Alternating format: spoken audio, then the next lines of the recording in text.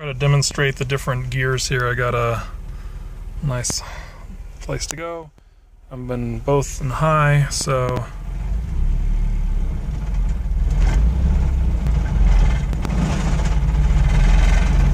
this is just idling along now. Get a view of what it looks like. Doesn't really like to idle along in uh, too high first, so I'm gonna shift now to high on that. So, or rather low. This should be 2.28.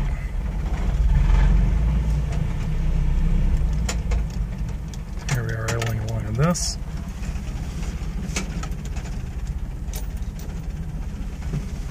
Okay.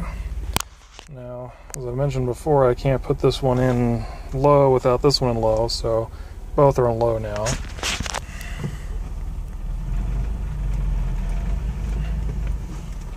Okay, so here we are idling along.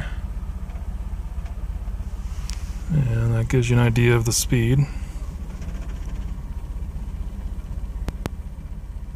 So I guess the question is what the gears actually are that are in here. It says 2.28 on the rear and 4.7 in the front, but I'm not entirely convinced that's what it is, so I just want to kind of get another opinion on it. Thanks.